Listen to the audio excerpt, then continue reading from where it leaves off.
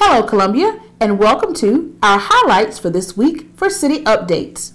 We're starting off on Monday, May 24th, with a ribbon cutting ceremony as we announce and unveil new lights at the All Star Baseball Field.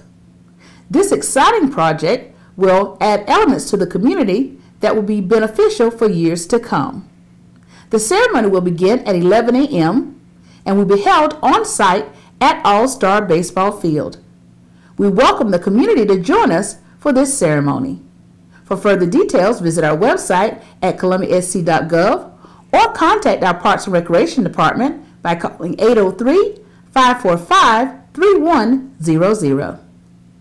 As we move through the week, we have an exciting dedication ceremony, another one for Parks and Recreation actually, which is the mural at Valencia Park.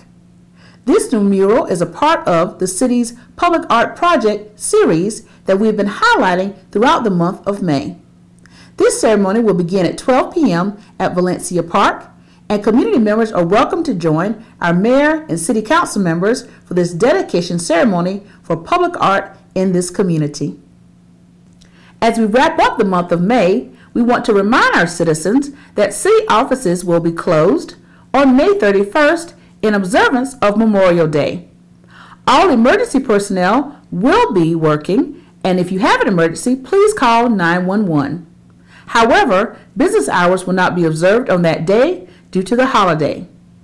If you have any questions or need more information, visit our website at columbiasc.gov or email us at pio at columbiasc.gov.